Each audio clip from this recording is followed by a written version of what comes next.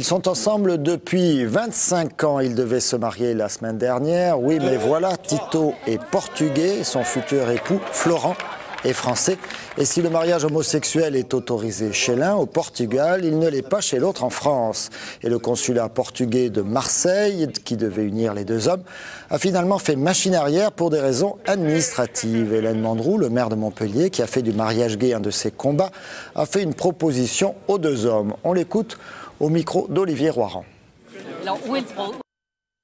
Déjà, le fait de faire ce mariage officiellement, exactement comme pour tous les mariages qui existent euh, entre les, hétérosexuels, je pense que ça va mobiliser ce que j'espère, mobiliser nos parlementaires, les mobiliser et que demain, en tout cas, ce, mariage homosexuel soit mis bien évidemment au programme du candidat de, des présidentielles de 2012. Et j'espère bien de mon, ma candidate ou de mon candidat, en tout cas, qui sera désigné par le Parti socialiste. C'est déjà dans le programme de Martine Aubry. Si par exemple, ça pourrait mener à une action qui aide par exemple à la réflexion du Conseil constitutionnel ou des choses comme ça, oui, pourquoi pas.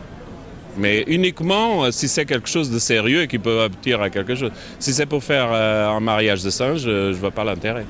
Pour l'instant, c'est possible au Portugal, je veux me marier au Portugal. Après, on verra pour la France. Ça, c'est un autre problème.